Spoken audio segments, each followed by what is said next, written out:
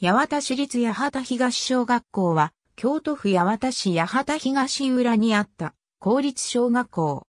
1970年代前半から半ばにかけての人口急増期に八幡小学校1校では近い将来児童数が3000人に達し、きめ細かな教育ができない。と予想され、八幡小学校の適正規模を維持するために3、小学校体制が構想された。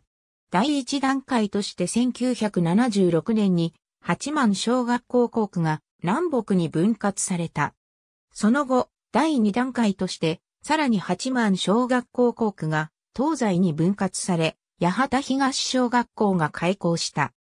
八幡東小学校は1980年の開校を目標に準備が進められたが、一部の土地について用地交渉が難航して工事に着手できなかったため、予定よりも遅れて1981年に開校した。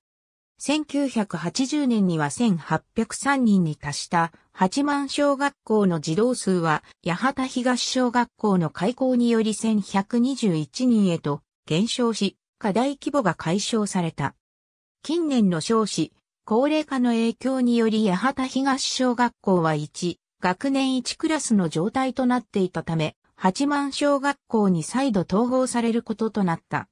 同じく2008年に統合された八幡市立八幡第三小学校、八幡市立八幡第五小学校の新設校は新たな名称が付けられたが、本校の統合は八幡市立八幡小学校の名称がそのまま使われた。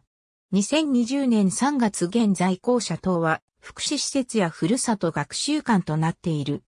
校区は八幡地区東部、川口地区で八幡小学校の校区とは大きな道路と川で区切られ、大谷川伊東、京都府道22号八幡木津線以北、伊東の地域であった。卒業後は、八幡市立男山中学校に進学していた。ありがとうございます。